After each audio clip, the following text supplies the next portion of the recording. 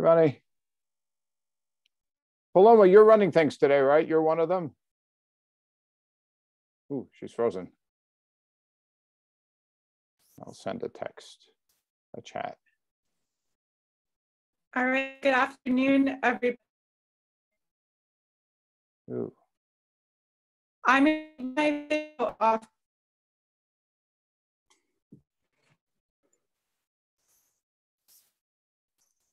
Sorry, Dan, go ahead. Oh, I was just going to say, I'll just remind you, since there are three speakers today, we'll have to stick closely to time for everybody.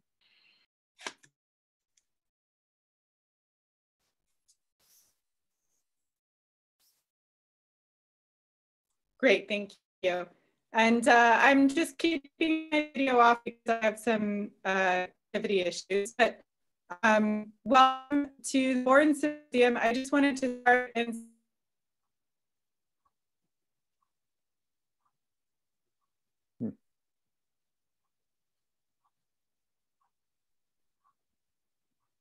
Apologize. Uh, connection isn't great. Um, do you have any announcements?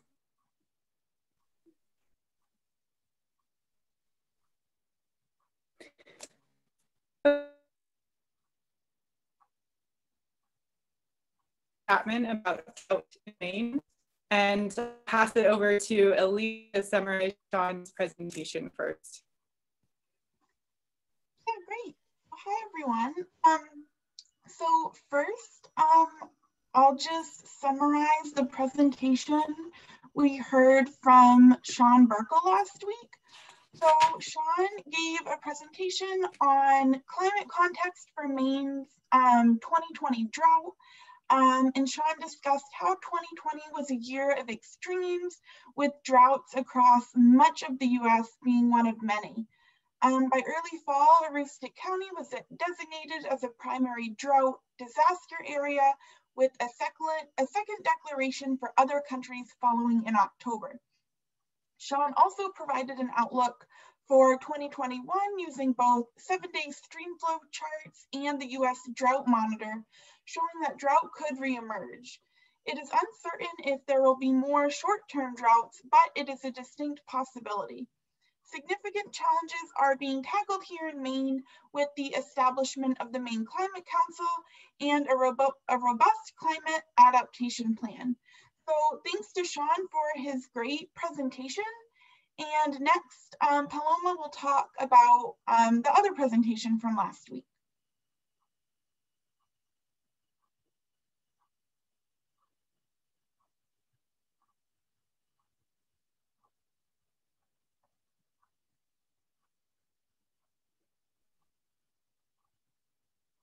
Great. Um, thanks, Elise. So we heard from Rachel Chapman as well last week. Uh, she is professor of sustainable agriculture, and she spoke about the effects of the 2020 drought on agriculture producers.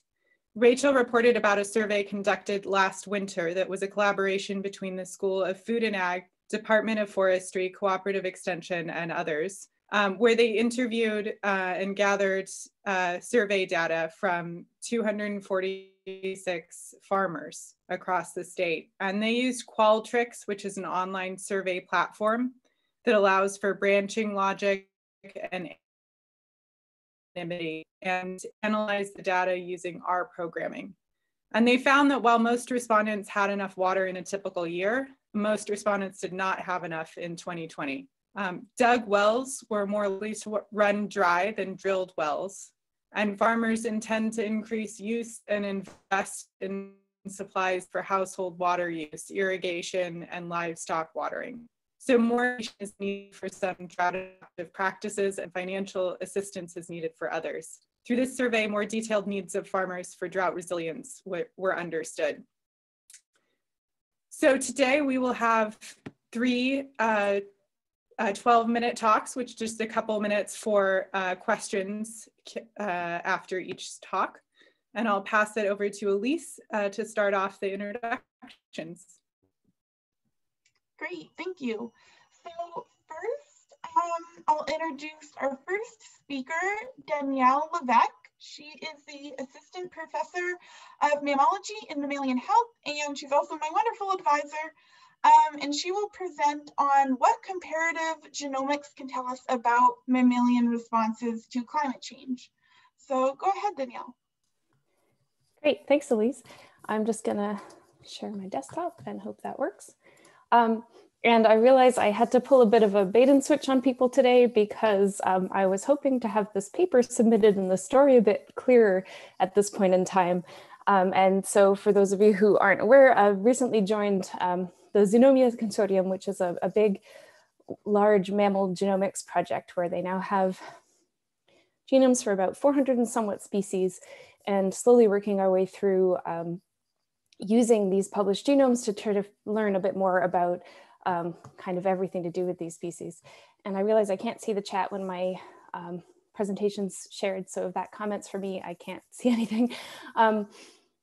But unfortunately, again, this is still a work in progress. And I should also say that the consortium usually meets at this time, which is why I have unfortunately missed more of the Borns Symposium that I'd like. Very happy it's on YouTube. Danielle, Danielle sorry to interrupt your, uh, you.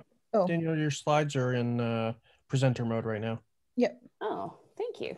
That's unfortunate. Uh, sorry, you'd think I'd figure out presenter mode by now. It should be this one. Is it fixed? Yep, that looks good. Okay, that is was bizarre new problems every time. Great. So basically what we've ended up doing instead of actually the genomics analysis that I was hoping to provide is more just um, building, slowly building these phenotypes for mammals to then be used, hopefully in the next few weeks in the, in the genomics analysis. Um, so basically what I'm going to talk to everybody about today is the idea of the differences in body temperature in mammals, um, both in the kind of level they use. So here's an example of a red squirrel that has a relatively high body temperature of 38 degrees Celsius. For reference, humans are around 37 or 36, uh, and then a tenrec that's significantly lower. And we've been playing with the sort of whole mammal phylogenies for this. And these are family level averages for all mammal families. And just to situate yourselves a little bit, the bottom are things like sloths and armadillos. Um, and then that red thing right in the middle are um, ungulates. The other really hot red lines are rabbits. And then there's the naked mole rat that's low and some bats. Uh, and primates are somewhere in between in the sort of mid-range. And so basically, what I'm rather going to shift to today, since I don't have the full genomics story, is um, this idea of using body temperature and other parts of mammal um, physiology to look at the, this idea of thermal performance and how we can then use what we know about these different phenotypes to predict um, who's going to do well and who isn't going to do well with climate change. And so um, recently had this paper published in the Journal of Experimental Biology that's been the work of um, a lot of work uh, on whether or not endotherms have thermal performance curves. So for, for those of you who aren't familiar with the ins and outs of thermal performance, um, a performance curve is basically just the idea that um, things operate better at different temperatures. And so here's the kind of classic example of a lizard thermal performance curve. So it's got an optimal temperature where it performs really well. And usually the, the body, the x-axis is always body temperature. And then the y-axis can be kind of anything you want it to be, uh, running speed, um, rate of feeding, that kind of thing. So there's an optimum, and then there's temperatures where they don't do well at the low, upper and lower critical maximum.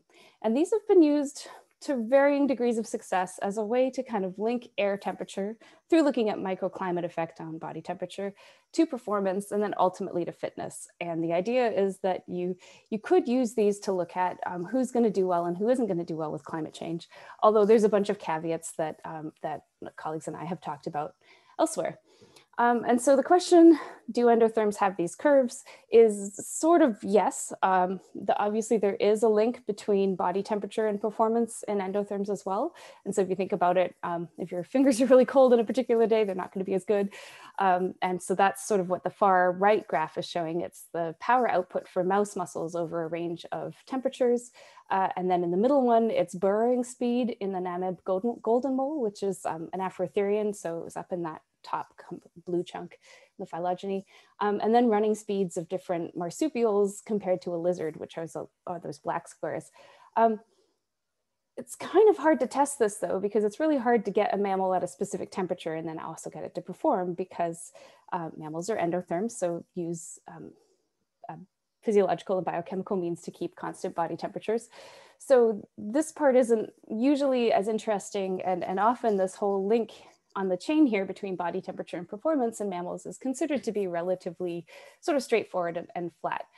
Um, so what else can we look at that might be useful in terms of this idea of performance curves or, or trying to link different um, characteristics to performance in mammals. And so I've sort of been arguing and trying to find a framework to construct this um, in terms of these thermoregulatory phenotypes. And so I think the first thing we should look at is the flexibility of body temperature regulation. So I showed that massive graph that had, um, actually I didn't explain what it was, was a histogram of all body temperatures of mammals that we had to that date. The problem is those were single temperature values. And if you look at what a tenrec looks like. And so these are sort of multi-day histograms of body temperature. And so for the tenrec, you could see in this particular instance, um, not much of a difference between active temperatures and resting temperatures, uh, but the red squirrel does. So depending on which value you want to use in these equations, you're going to get completely different. And also I'd argue that having really tight temperature regulation costs more than, um, than a kind of looser one. and sorry, the tenrec is a bad example to use for that particular example because they have very, very flexible body temperatures, but that's a different story. Um, and because I put it in my slide and I figure I should talk about a local animal, if we're talking about something like a flying squirrel, some of the work we've been doing in my lab, and Elise is continuing doing a modeling component for her master's, is uh, looking at this in some local mammals, including flying squirrels. And so what we found out for flying squirrels is they have very high activity uh, body temperatures when they're active, almost up in the 40s. Um, and then when they're resting, it is somewhat dependent on ambient temperatures because they're resting in these tree holes that are heating up, which causes this increase. Um, I'm just going to skip this next slide because it's less important. And so here's the where the red squirrel falls on this pattern. So some of what we've been doing in my lab is looking at the kind of costs of being really picky about where your body temperature is at, like us, versus being a lot more flexible. Um, and, and how that looks like both sort of on a day-to-day -day basis, as well as say season changes seasonally and so forth. Um, the other thing we're trying to look at is, so I presented the curve looking at kind of running speed or energy use in lizards for temperature. Um, we can get this for metabolic heat production in mammals, but it's not necessarily a useful performance curve. And so uh, another thing we do a lot in my lab is we put animals in boxes and we measure their metabolism. So here that's resting metabolic rate um, over a range of ambient temperatures to see when they start needing to use energy to keep a constant body temperature. Um, and so this gives us one value that can be somewhat useful sometimes, and that's the lower limit of the thermal neutral zone but it's important to recognize that that really doesn't have much to do with performance. Um, so here's a tree shrew and a tenrec, and ours is also somewhere around 25 degrees, but it basically just means that below that temperature, they need to use energy to stay um, cold. I mean, to stay warm. And so uh, just as an aside, this is definitely not a thermal performance curve. It's more like a sort of thermal comfort curve. Uh, and some colleagues of mine have presented the really great paper on all the ins and outs of how to model um, mammals with climate and how you can kind of use that for climate change um, in a really useful way. So the other part, now that that's sort of just looking at resting rates, can we kind of look at activity? It's a little bit harder to get these values from a bunch of species. And so um, for some uh, I should have explained this curve a little bit more, but basically the resting phase one is in blue, so when they're sleeping and when they're active, the kind of basal rate goes up because of activity. Um, and this also means that you need to start shivering and stuff at um, lower temperatures than if you're just kind of curled up in a ball or higher, sorry, just curled up in a ball. Um, and so figuring out if species are gonna stay in the phase that they currently are, so if they're nocturnal, are they gonna stay nocturnal with climate change or vice versa. So in Australia, when it gets really hot, a lot of species move to completely um, nocturnal activities, but in some circumstances, um, it's a little bit harder for, for animals to do that. Um, and we have started to find some neat patterns when we're looking at these phenotypes between nocturnal and diurnal animals. Uh, and so coding this massive data set of mammal that basal uh, body temperatures compared to their activity pattern, what you can see is that nocturnal and crepuscular animals are all over the map, But to be diurnal, you have to have a relatively higher body temperature. And the benefit to that is it helps maintain a kind of difference between you and the environment. So there's always a gradient for heat to be lost from the body. Um, and other colleagues have taken this and made a really elegant model showing that um, activity time is going to affect responses to climate change and that diurnal species might be in a little bit more trouble. Um, although I'd argue that arboreal nocturnal species like um, flying squirrels that don't have much choice about where they're going to nest in the day and those nests might be warming up might also kind of be an issue. And the other problem with all of this is we don't understand how humidity impacts any of these. So a lot of what we're doing in my lab right now is building these data sets as well as a set of um, techniques to use for new species that we're again hoping to fit into this framework on um, comparative genomics. And I really hope that I'll have some concrete data to show you all uh, this time next year. And so I think I left time for questions um, and I'll stop there and I'll stop sharing my screen so I can see faces.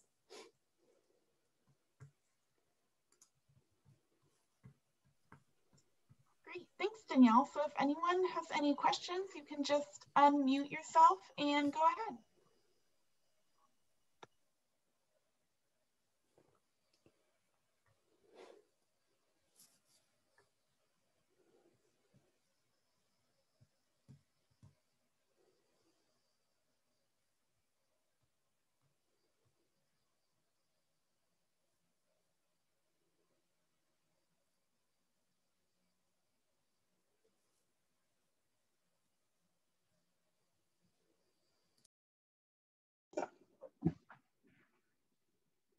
Oh, yeah, Kylie. Hi, Danielle. Nice presentation.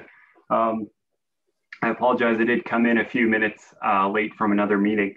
Um, so I was just wondering a little bit more about, uh, just curious, because it's really interesting research about, uh, you were talking about, you were showing us some things with the flying squirrel in particular about some animals in Maine. Was just wondering, and I, again, I apologize if I missed it in the first few minutes. Um, are there other species like particularly in Maine that your lab's looking at or thinking looking at going forward? Yeah, so so part of what we're doing is trying to see how much any of this has to play with range distributions. And the flying squirrels are an easy one because they can fit in boxes um, and because the, the southern one has been moving up and out competing the northern one. Uh, and we think that, that this overheating during the day might have a role to play in it.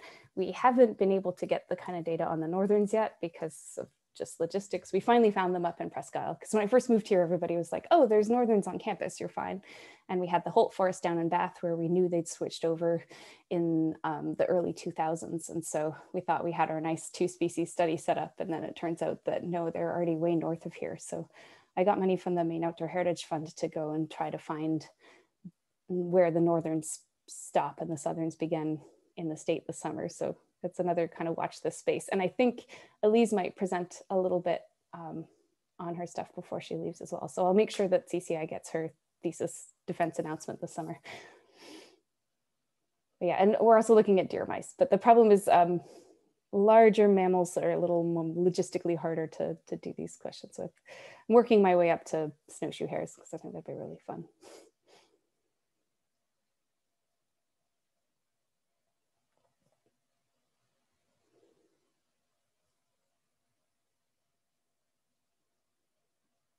Hey, Danielle, I have a kind of a weird question.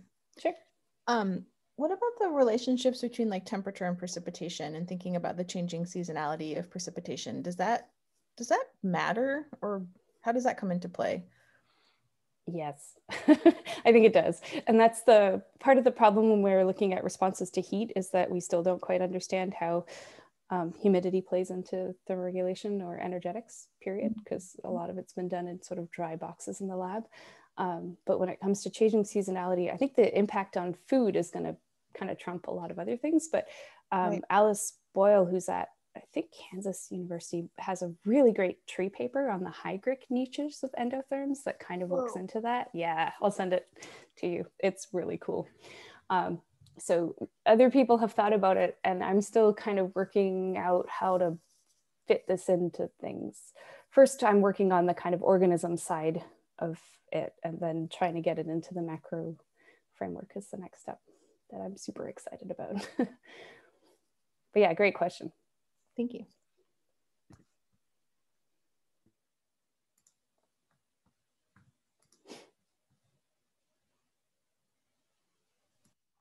Any other questions for Danielle?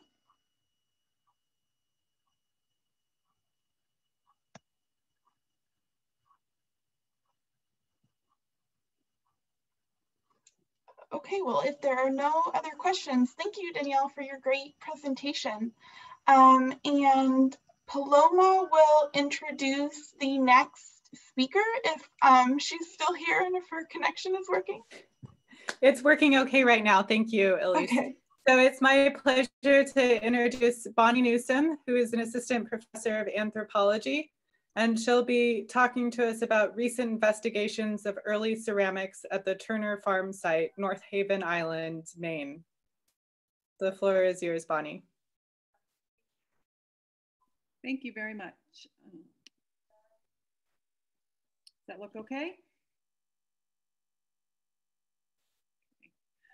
Since the beginnings of archaeological inquiry in Maine, research on Aboriginal ceramics has been overshadowed by topics such as indigenous mortuary practices, lithic technologies, seasonality studies, and faunal remains.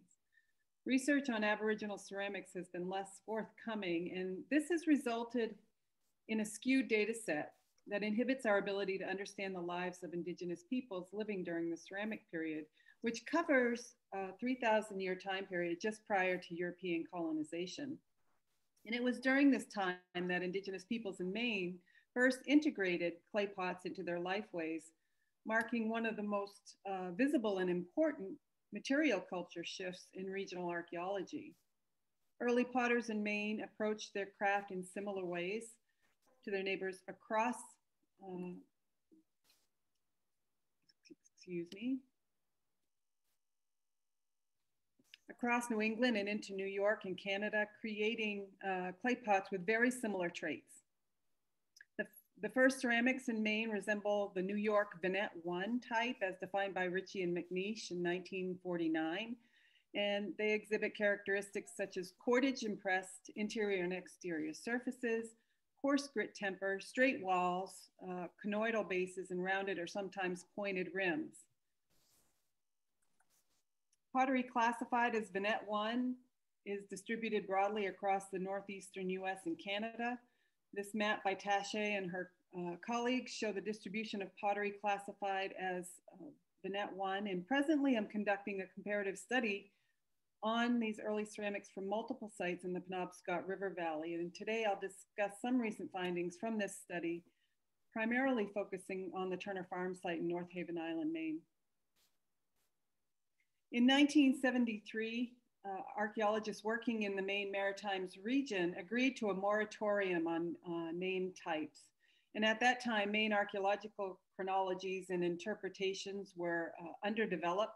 And regional archaeologists wanted to resist the importation of typological constructs from other regions. And despite this, the Vinette 1 construct and its defining uh, suite of attributes have influenced Maine maritime ceramic analyses and interpretations. And pottery is often labeled as Vinette 1, um, and it's referenced that way uh, frequently in the literature. In 1991, Peterson and Sanger developed a regional chronology for Aboriginal ceramics, and they acknowledged similarities between the first Aboriginal ceramics in Maine and the Vinette 1 type. And they interpret the shared ceramic traits as a horizon style, indicative of widespread uh, social interaction. Yet the influence of the Vinette 1 construct across the Northeast um, resulted in few efforts to differentiate how potters approach their craft.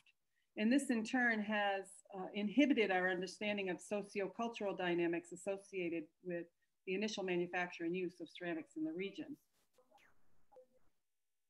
In order to look beyond this normative concept of the Vinette 1 horizon style, I've undertaken a comparative study of early ceramics in the Penobscot River Valley. And the aim of this study is to highlight ceramic variability, acknowledge indigenous agency, and advance our understanding of the sociocultural dimensions of uh, the first pottery. And I do this through um, a comparative analysis of early ceramics from 10 archaeological sites in the Penobscot River Valley in central Maine. I used two primary analytical techniques in this study. One is an attribute analysis of technological choice, where I examined pot characteristics such as uh, surface treatments, paste characteristics, and morphological attributes.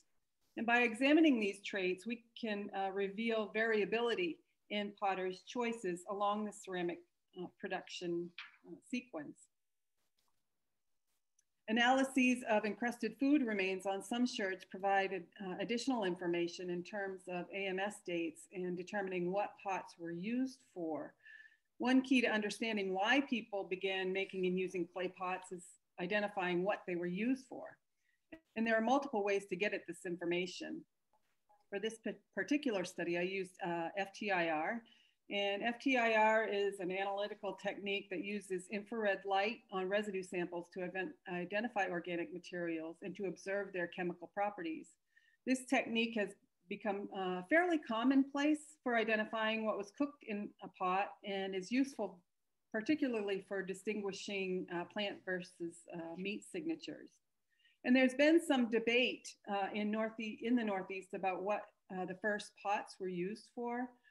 Several studies on early ceramic residues by uh, Karine Taché indicate that pots were used for simmering fish, and she suggests that native peoples were processing fish oil some recent residue studies of early ceramics from the Great Lakes region show more diversity uh, with residue studies identifying plant and animal remains as well as nut oils. Data from this study will add to the archaeological dialogue on this topic. I want to turn now to the Turner Farm site, and this site is located on North Haven Island in Penobscot Bay. It's one of the oldest coastal sites in Maine. It's a multi-component shell heap site with a large late archaic cemetery component that includes multiple uh, types of mortuary ritual. Native families lived at this location from uh, the late archaic through the late ceramic period, roughly 5,000 to 450 years ago. In archaeological research at this site focused heavily on the late ar archaic period component in lithic and uh, faunal assemblages. Ceramics from the site span uh, the ceramic period, roughly 3,000 years, but very little published data on this assemblage exists. Vessel lots from the three um, areas uh, within the study show remarkable similarity in several traits, including average body thickness, rim thickness, and, and lip shape. Likewise, uh, rim thickness measurements taken one centimeter below the lip show little variation based on site location, measuring an average of 7.97 millimeters in the central sample and 8.03 millimeters in the coastal sample. Additionally, potters at all three locations practice secondary smoothing on vessel surfaces, whereby they smooth over the cordage. Um, and given the endless options that people have in manipulating clay to meet their needs, understanding the social and cultural meaning behind these similarities is important. However, uh, despite these similarities, evaluations of the Turner Farm early ceramic collection has revealed some notable distinctions. The first is the size of the ceramic sample at the site. Generally, sites with early ceramic period pots have very few containers, usually less than 10. And you can see here that this is the case for all of the sites in the Penobscot River Valley, except for Turner Farm, where uh, 24 vessel lots were identified. And this high number could be related to a difference in preservation it could also reflect uh, the temporal span of site use or the numbers of people using the site during the early uh, ceramic period. And currently it's unclear why this site produced so many vessel lots compared to the other sites in the Penobscot River Valley. In terms of vessel morphology, um, these samples are, our sizes are small, but that's the way we have to work in Maine archaeology, unfortunately. Um, but uh, samples from the Penobscot River Valley show some similarities across the three locations. And this is not the case for uh, rim eversion, where uh, the central and coastal uh, samples differ. Specifically, um, vessel lots with direct rims dominate the central sample and excurvate rims dominate the coastal sample. And this variation may reflect a fun functional difference between the two samples um, as excurvate rims are typically designed for pouring and they allow easier access to the pot's contents than a rim that is direct or curves in. One final ceramic attribute that's worth noting here is cordage twist. When uh, producing cordage, there are two options with respect to spin and twist, either S spin Z twist or, or Z spin S twist. The two techniques are distinguished by uh, the angle of cordage, which may be visible on the surface uh, of fabric or cordage and pressed clay pots.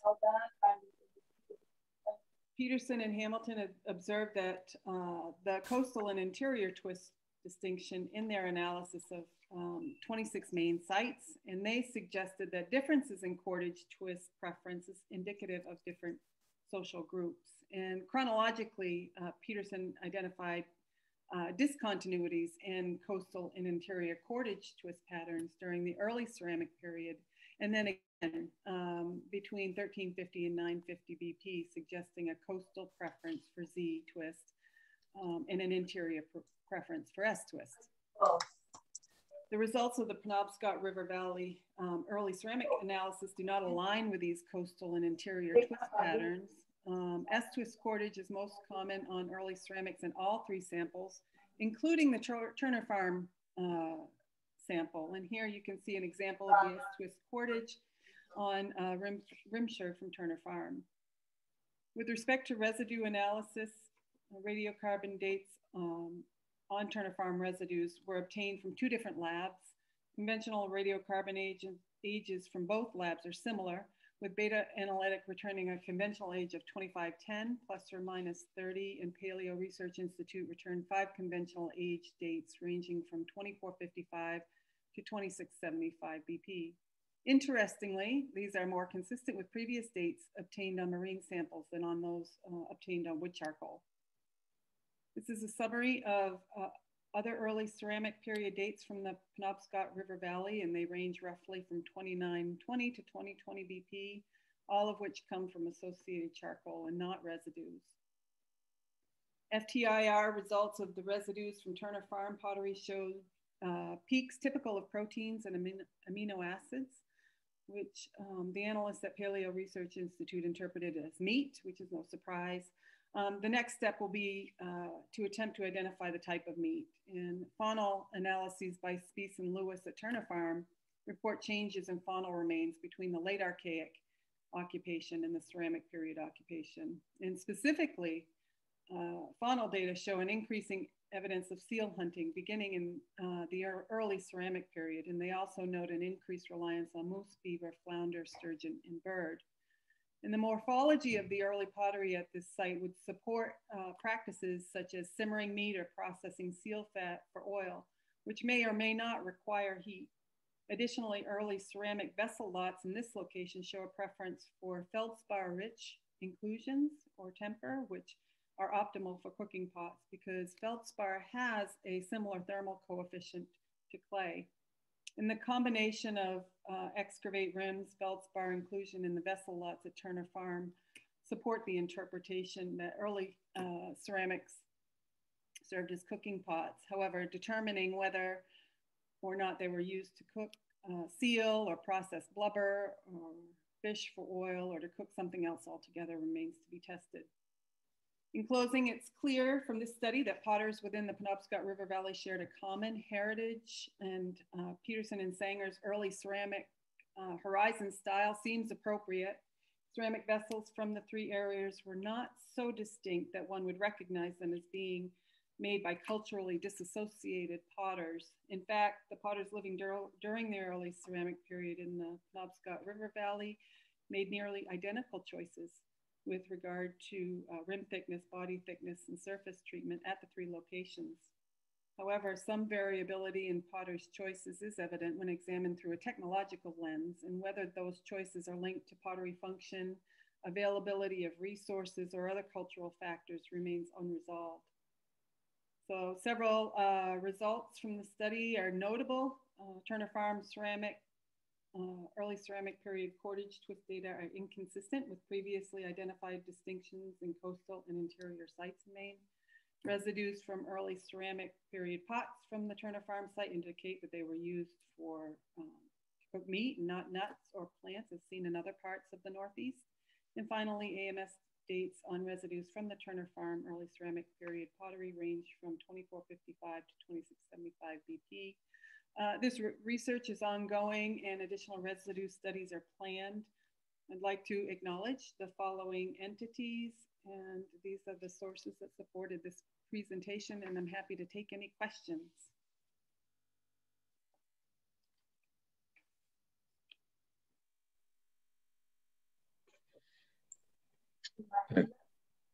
Excuse me, Bon, it's Peter Koons here. Mm -hmm. um, I was uh, interested in your uh, statement that clay and, and feldspar had similar thermal properties.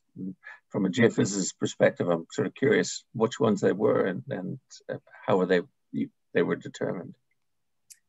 Well, which, what do you mean? Which? Um... Well, are they the thermal conductivity, diffusivity? It's just normally I, I would think of clays as as having some similarities, but also they're stuff full of water, and so I was just curious at what point they'd be similar.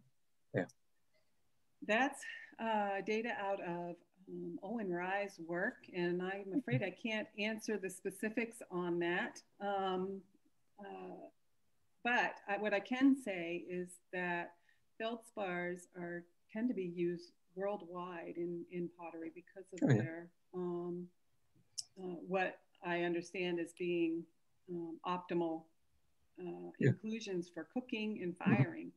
Okay. I'll, I'm, I'm interested and I'll, I'll take a look at that. Thank you.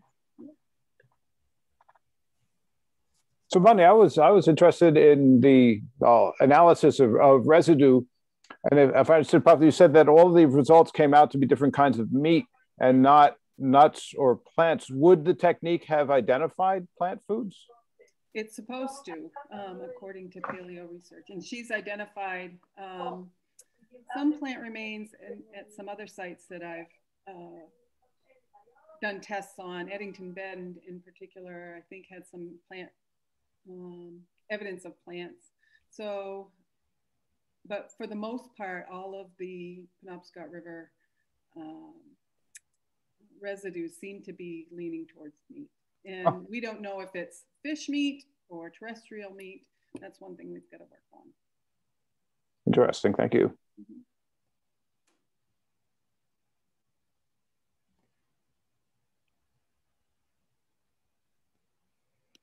Are there any other questions for Bonnie?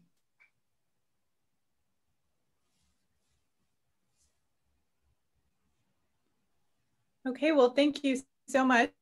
Um, I'm going to go ahead and introduce our final speaker, Cindy Isenhour, Associate Professor of Anthropology and Climate Change and she is going to tell us about saving the adaptation fund, defending justice-based norms in climate finance post-Paris. The floor is Cindy. Thank you so much. Can I just get an um, auditory confirmation that you guys can see my screen? Yes. Awesome.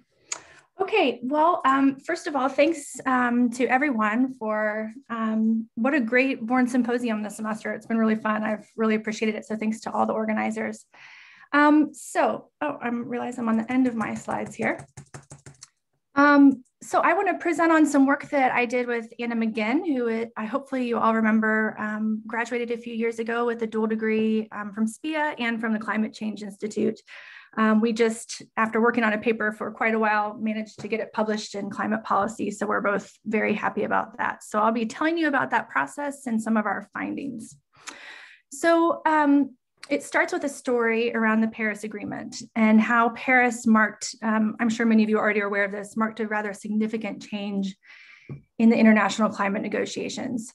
So, of course, it was internationally celebrated because for the first time we had legally binding targets for all nations. Um, prior to that, we had a more of a staged approach based on this idea that countries had common but differentiated responsibilities. And that was based on past emissions, current emissions, but also respective capacities, which is what the RC stands for. So prior to Paris, um, the developed countries were supposed to act first and then developing countries later. So with Paris, we got all countries on board, um, but that was in part based on this promise of significant adequate funding to make um, domestic mitigation and adaptation possible for developing countries. So an important kind of part of the backstory here. Um, those that funding that would be transferred from developed countries into developing contexts flows through a whole bunch of different mechanisms. Um, through the UN process, it flows through three major modalities. So the Global Environmental Facility, the Adaptation Fund, and the Green Climate Fund. So one of the things that Anna and I became really interested in, and I should give Anna credit here, this is, this is um, something that she followed much more closely than I did, um, was the adaptation fund. So when Paris was agreed to, um, all of the mechanisms for funding underneath Paris had to be renegotiated. So should they continue to serve the Paris Agreement, um, be transferred over from the Kyoto Protocol and into this new decision? Well, something interesting happened. So um, in the, the Paris Agreement, it says that the Global um, Climate Fund or the Green Climate Fund, the Global Environmental Facility, and then the Lesser Developed Countries Fund shall serve the agreement. Now, if you follow the UNFCCC, you know that shall is a legal term and, and, and that's legally binding. But the adaptation fund, it said in their decision, it said may which is not the same, right? So it's not a legally um, legal term. It, it, it, doesn't hold any legal weight, legal weight. It just meant that it might, but we're not sure yet. Well, this decision threw a lot of um, parties into a significant fury, I, I, guess is the right way to say it. so there was um, established an ad hoc working group on the Paris Agreement that um, met consistently over the next few years at the Conference of Parties and in intersessionals to try to figure out what exactly is the role of the Adaptation Fund in serving the Paris Agreement.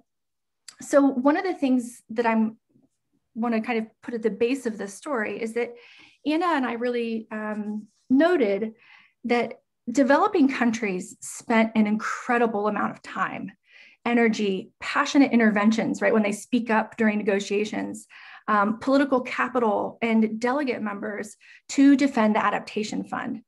And so we really wanted to try to understand why that was, um, why, why, why they should do that. And part of the reason that we asked that question is because many of the developing countries, granted, they pull themselves together in negotiating blocks um, so that they have more um, weight.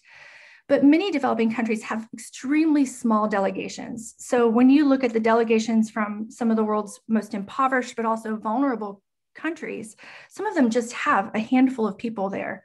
And you compare that to, you know, delegations from the United States or the EU or Canada who just have hundreds of people that can attend simultaneous and parallel meetings and so many of these small state delegations are just completely overworked. They can't be in multiple places at once, and it's really frustrating.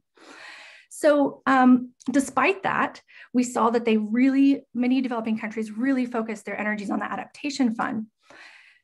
But that raises some really interesting questions. Um, partially in view of some of the most dominant theories in international relations, which and um, you see my disclaimer here. I'm going to be way overly simplistic here, but just for the, I'm happy to uh, nuance this for people who want to talk more about it later. But there tend to be two really dominant theories in international relations. And this goes back to the kind of Hobbes versus Rousseau, you know, age old debate of are humans essentially selfish or are we cooperative? but um, it's rationalism and realism. This is the idea that um, nations are going to utilize cost benefit analyses were rational to maximize national interest. And in this perspective, uh, it, it, doesn't make sense. And let me tell you in, why in a second. And then there's this idea of liberalism is that people um, fund or nations fundamentally act um, through, to try to find mutual advantages so that we can get to collective interests. And the problem was is that in trying to understand why developing countries were putting so much emphasis on the adaptation fund, Anna and I didn't feel like either one of these theories made a whole lot of sense. So let me explain why. So first of all, I know this is a complex slide, but if you start on the left-hand side, you're gonna see um, kind of total um, global climate finance. Um, you can see the breakdown in 2016 from public and private funders. But if you follow that um, flow diagram at the, at the bottom of the left-hand side, you can see that the majority of funding is going toward um, the renewable energy transition, sustainable transport, energy efficiency. And if you look all the way to the left, you'll see that adaptation funding is just a very small piece of the total global, uh, global climate, climate finance um, um, total flows. And then if you look on, on the right, you can see um, in the um, bubbles that if these are um, all of the different funds used to um, finance adaptation. You can see the adaptation fund in the green at the top is fairly small, particularly compared to the Green Climate Fund and the Least Developed Countries Fund. So from a rationalist perspective, this didn't make much sense, right? We've got people that are already overtaxed investing a significant portion of their um, attention and effort at the negotiations to defend a fund that compared to some of the other funds that had already been um, attached to the Paris Agreement um, provided relatively meager finance. So what um, this paper is based on is um, a kind of classic narrative analysis and observation um, at the meetings. So we read through decision texts from um, 2015 through the finalized Paris rulebook um, from Katowice. We also read through party submissions. So um, prior to the negotiations, each party can send in um, their position um, submissions. And then of course, observations. So um, Anna went to COP 21 through 25. I went through to 23 to 25. So in total, this was 53 days um, of observations in these negotiating um, meetings, listening to countries give interventions and make pleas for the adaptation fund. I'm not going to read these to you, but um, here are just some quotes that you can kind of peruse for a minute, um, coming from many of the developing countries who, um, this is a, a, large part of how we make our argument um, through qualitative analysis of these quotes, where we see over and over um, developing countries um, talking about how important, important adaptation fund is, how um, essential it is for developing countries to continue the adaptation fund under the Paris Agreement. So part of the story um, to answer our question of why they spent so much on the adaptation fund um, has to do with the way that the adaptation fund was set up. So its goal, like the lesser developed um, Countries Fund was to help particularly vulnerable communities in developing countries adapt to climate change. So it's specific, the funding is specific to adaptation and it's specific um, to vulnerable communities. But more importantly, um, what we found is that when we read through all of these quotes, all of the, the passionate interventions that countries made on behalf of the fund, it really had to do with the idea that the adaptation fund is, is the only funding mechanism that has majority representation on the board from developing countries. So rather than it being the, fin the financiers um, who are kind of controlling um, the fund, it is um, much more representative um, for those countries who will receive funds. It also established the idea of direct access so that rather than having to go through third party actors, countries could access the funding themselves. Um, and also, it was one of the first funds to set up really strong social and environmental safeguards. So, um, when funding was received, there were safeguards in place to make sure that it wasn't, for example, um, unfairly burdening Indigenous populations or certain genders. So, the Adaptation Fund was really seen as a major win for developing countries. And that was based on this idea um, that it gave procedural justice through the representation on the board, but also distributive justice in that, you know, it was really based on targeting particularly vulnerable countries who had, don't have a big climate footprint. They haven't contributed much to climate change, but would be differentially impacted. So um, one of the things that Anna and I did when we started to try to um, answer the question of why they the countries had invested so much is of course we um, like all good scholars looked for a pretty significant literature review.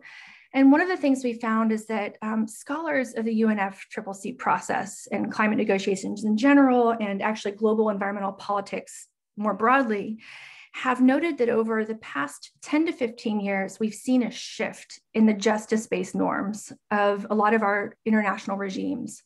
So um, many of them were founded on this idea of distributed and procedural justice, as in the idea of common but differentiated responsibilities and respective capacities, and are moving much more toward liberal conceptualizations of justice, where voluntary, rational actors um, work toward a mutual advantage. Um, and so rather than thinking about structural shifts, it's about kind of voluntary cooperation.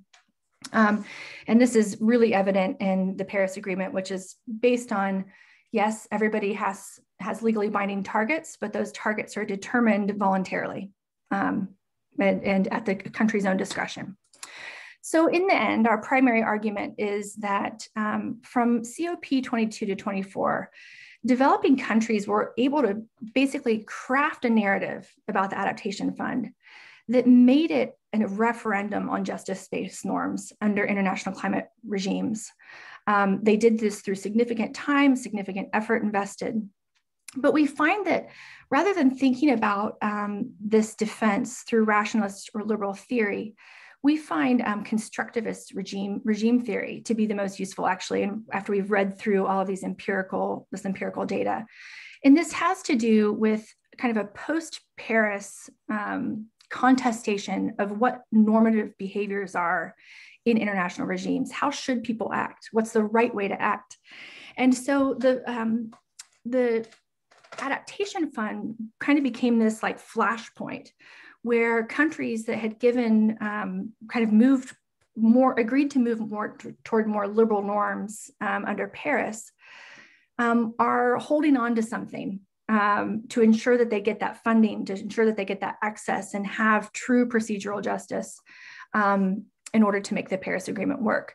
So um, Anna and I ultimately argue that um, you know claims to distributive and procedural justice um, become emblematic of larger concerns about justice-based norms that have to be addressed in order to ensure the ultimate success of the Paris Agreement. And so while there are hundreds of other negotiated rooms happening and many other kind of pieces of the Paris Agreement on carbon trading, on um, agriculture, on indigenous peoples platforms. There are so many things going on.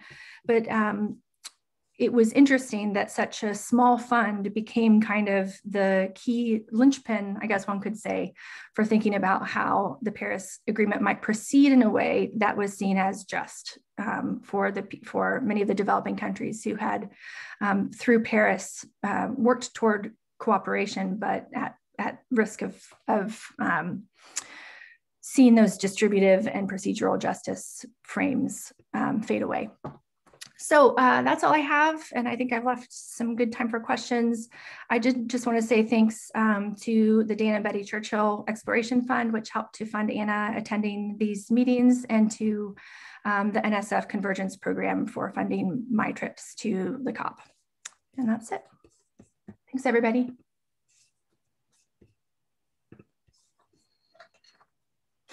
Happy to take questions or comments if anyone has them. Uh, uh,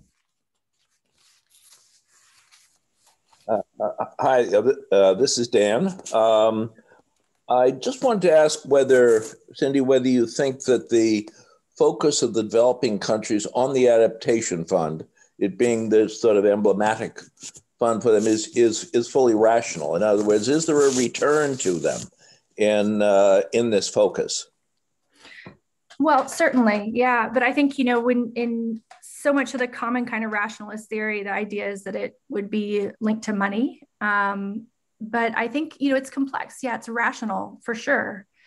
Um, but if you think about the rationality of spending so much time on such a small fund compared to the rationality of spending time on funds that would bring potentially a lot more gain, um, that's why that that's kind of what led Anna and I to question whether it was rational but yeah i think it is dan. It, it's we we can't cut out rationalist or realist theory completely right? It, it gives a part of the explanation. Um, but i think more important here is that it was really rational for them in the context of an international regime that seemed to be moving in a liberal direction um, that wasn't providing them with kind of a just solution especially considering that so much of the funding that was promised is just not coming through Thank you, Cindy. Thanks, Dan. Cindy, uh, very nice presentation, very informative. Um, moving ahead to COP in Glasgow, what do you think will be some of the big issues? Hmm. Oh, that's a good question. Um, so I think that the global stock take is going to be a, a, big issue. Um, so the the the way that Paris was set up is, as I said, it's countries have to make um, nationally determined contributions, right? And so the idea is that you put forward your nationally determined contributions is what you're going to promise to do. And some of them are conditional on finance and some of them aren't. Well, pr- the problem is, is that we have this huge mitigation gap, right? That if you add up all the NDCs and see where they add up to relative to what we need to get to to avoid two two degrees or even one, especially 1.5, they fall super short. And part of the um, design of the Paris Agreement was that there would be a global stock take um, every five years, and that then um, countries would be required to increase their ambition. And um, all of the uh, mechanisms for the global stock take aren't quite set up yet. Um, so that's going to be a, a, big piece of the puzzle. I continue to think that um, the the carbon me- trading mechanism is so Article 6, which has been kind of the sticking point for negotiations over the past since Paris. I mean, they they had to essentially in Katowice push it off um, because they couldn't. There were there were still too many bracketed areas of text. So that's going to continue to be a big issue. Um, what else? I think loss and damage is going to continue to be a big issue. Um, this, this is another kind of flashpoint for developing countries that want to see some compensatory justice um, for loss and damage. Do you think there's any chance there'll ever be one for loss and damage? But yeah, I certainly think there's a chance. Um, but I think that a lot of parties are going to fight it tooth and nail to the very end. So uh, I don't see a big chance, but I think there's a chance for it. And it may be that those loss and damage funds come through a different mechanism uh, that's set up a bit differently. Is there um, much of a uh, an Arctic uh, theme in this? I assume there'll be much more in Glasgow. Yes. It, so there's always a lot of stuff on the cryosphere and um, at the meetings. So uh, for those of you um, who don't follow, not only are there negotiation sessions ongoing at the COPs, but there are side events. It's like a regular conference. And um, we've been taking delegations for the past few years and one of our ultimate goals with getting UMaine observer status is that we can participate in a much more robust way through research presentations and side events that we organize um, so yeah there there's an a, usually the um, I can't remember the name of the organization. Some of you would know better than me, but there is there like an Arctic Studies Cryosphere International Association? Uh, there's several. The, my, the Arctic Circle is probably one of the the most representative of what's going on uh, across all disciplines, including business. So they are usually in the pavilion space. Like countries have pavilions, but there's usually a really big pavilion space that's dedicated to the cryosphere, and they hold talks just constantly. But I, am not exactly sure who the um, right. like the, the, agency is that hosts that. I can look well, it obviously is very big because you have the Arctic as one type of problem, and then you have mm-hmm. high mountain areas with water towers. That's another type of problem, and then of course you also have have the Antarctic. Mm-hmm. Uh, thank you. Mm-hmm. Um, Cindy, in what ways do you think the Biden administration decision to rejoin will will affect the upcoming um, talks in, in Glasgow? I think it's pretty significant. Um, a, a, lot of the peer-reviewed literature um, that has kind of tracked the regime over time. Um, some scholars that have been going to these meetings forever um, have remarked that we were kind of in a holding pattern for a couple of years. A lot of countries didn't weren't particularly interested in raising their ambitions significantly until they knew what was going to happen. Um, so I think it's I think it's big. I, I really do, and I think um, it will be interesting to see what also happens bilaterally with the U.S. and China, um, because that was I mean to a certain extent that was kind of the flashpoint for a long time. Is you know we're we're the developing um, BRIC countries, uh, rapidly developing countries, going to get a competitive advantage in a market system if we uh, really raised our ambitions significantly, and they didn't. But um, I think I think we're seeing a lot of news out of Asia um, and even India now that that people are ready to move. So hopefully we will be too. Let's hope. Yeah. Thanks for the questions.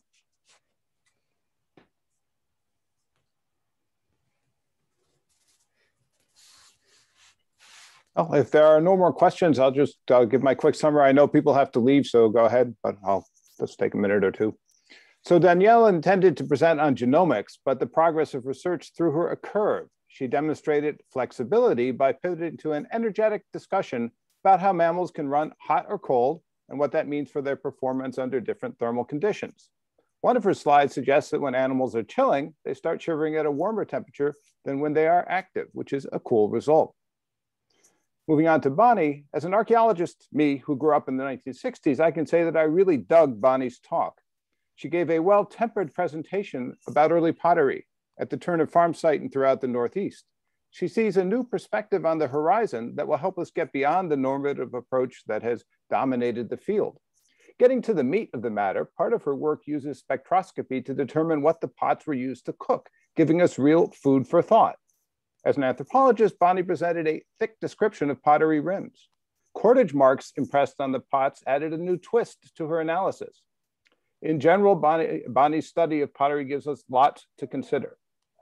Moving on to Cindy, Cindy's talk was right on the money on the issues of raising the adaptation fund promised at the Paris conference. A major question is whether all of the intended funders agree that we'll always have Paris. And what does that actually mean? Her analysis, together with Anna McGinn, does justice to, how, to the how and why of developing countries being so concerned with the adaptation fund and makes a powerful statement about how to better understand these processes. Thank you, everybody. See you next week. Thanks all.